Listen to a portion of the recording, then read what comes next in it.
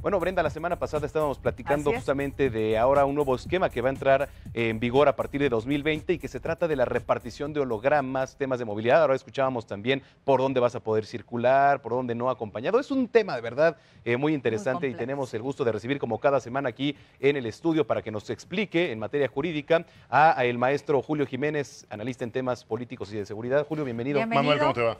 Brenda, qué placer. Muchas gracias, qué amable. Gracias por la oportunidad. Oye, a ver, primero, eh, se da a conocer el tema de eh, el nuevo otorgamiento, que va a entrar en vigor a partir del próximo año, de los hologramas para vehículos nuevos. Hay mucha gente que dice, oye, pero ¿cómo? Pero si mi auto es nuevo, ¿cómo que le van a causar más restricciones?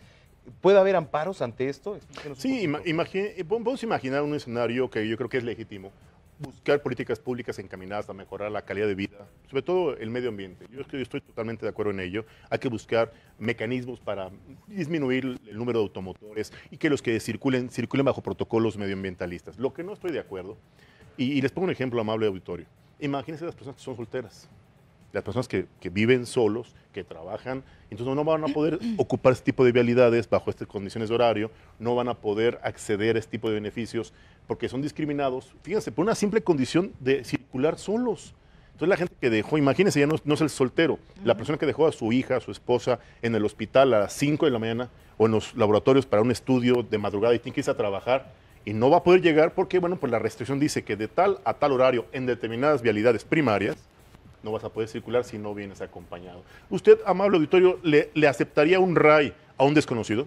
¿Usted le, llevaría en su automotor el tema? Yo creo que es una condición de incertidumbre, incluso violenta a derechos humanos, porque además la gente tiene derecho, si bien es cierto, a circular a lo largo y a lo ancho, sin ningún tipo de restricción, siempre y cuando cumpla con las normas medioambientalistas un automóvil de modelo reciente que no contamine, que verifique, que pague tenencia, que la placa sea de la Ciudad de México. Estoy de acuerdo y todavía habría escenarios de amparo. ¿eh?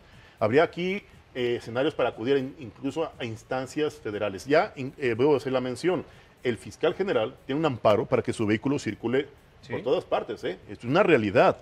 No todas las políticas públicas bueno, anunciadas por el gobierno de la Ciudad de México, que entrarán en vigencia el próximo año, están realmente, creo yo, sustentadas en un una investigación científica, en un fundamento legal. Creo que sería muy sano un ejercicio de, expertos del derecho, expertos medioambientalistas, sobre todo la sociedad civil, que se pronuncia en relación a este tipo de restricciones. Con restricciones no mejoramos la calidad medioambiental de nuestra ciudad capital. ¿Por qué no empezamos a mejorar las condiciones de vida? Hay temas prioritarios, urgentes que resolver, que prevenir, la inseguridad, la violencia, el secuestro, la incertidumbre que genera la corrupción en esta gran ciudad. ¿Por qué no los atendemos? Oye, Julio, eh, platicabas también de los autos foráneos que también ya no van a poder ingresar de, en cierto horario con placas, por ejemplo, de Morelos, que recurrentemente están circulando aquí en calles de la Ciudad de México, ya sea porque vienen a estudiar o porque vienen a trabajar o por lo que tú quieras. ¿Se pueden parar uno antes? Sí, ya hay por ahí un bueno, una agrupación de abogados que están ofreciendo incluso la asesoría eh, y de ser necesario la, la, eh, elaboración de amparos eh, en materia de, bueno, la gente que vive, que trabaja, que estudia en nuestra ciudad capital, no solo viene del estado de Morelos, viene del estado de México, de, Hidalgo, de Puebla.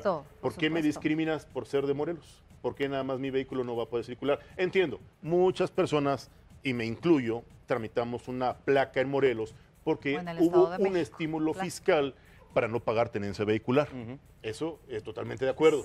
Y si es una política recaudatoria, se la compro, pero no me la quieran vender como una medida para prevenir o mejorar la calidad del aire en nuestra ciudad y que por eso no vas a poder circular. Ah, ah claro, ¿eh? De martes a jueves. De martes, a jueves, de 6 a 10. No me importa que contamines viernes, sábado, domingo y lunes, porque es con fines turísticos, hombre. Oye, pero, ah, pero ¿por dónde empezamos? O sea, si yo me quisiera amparar o, quisiera tomar medidas legales, ¿qué tengo que hacer? Ok, primero recordemos que el acto de autoridad tiene que violentar derechos humanos, que tiene que violentar este tipo de garantías fundamentales de todos aquellos que su esfera jurídica eh, le genera una afectación, un daño, un detrimento.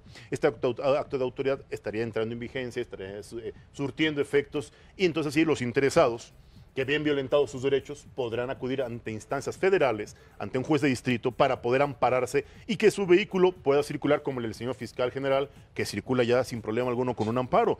Y bueno, yo creo que hoy es legítimo que la gente esté informada, que esté enterada, que hay instancias jurisdiccionales que puedan conocer, entender y resolver sobre este tipo de derechos que obviamente la gente puede hacerlos valer obviamente con el apoyo de abogados y, sin lugar a dudas, debidamente informados. Que no se eh, confunda que esto es una medida que previene o que va a mejorar las condiciones medioambientales. Entendamos, no solo los automotores están contaminando, están generando estos niveles de contaminación ambiental, la industria.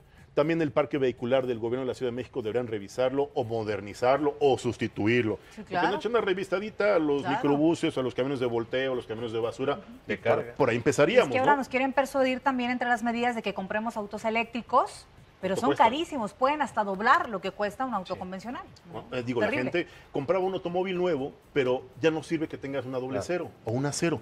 Porque si quedamos en, la etapa de contingencia, ya no tampoco vas a circular. ¿Dónde está el incentivo para aquella gente que invirtió en un automóvil nuevo? Y bueno, pues ya no, no va a poder estar pagando la mensualidad del automóvil nuevo. Y bueno, veía un estímulo fiscal ya no pagar tenencia. Ahora ni eso van a poder hacer. Esto es un tema que se va a resolver en tribunales federales. Julio, ¿dónde te seguimos? ¿En las redes ok, eh, contrastando ideas o en análisis jurídico estamos a Te esperamos la próxima semana. Claro que sí. Muchas gracias, un tema diferente. Y por supuesto, si usted tiene algún tema que, que, que abordamos acá, lo hacemos.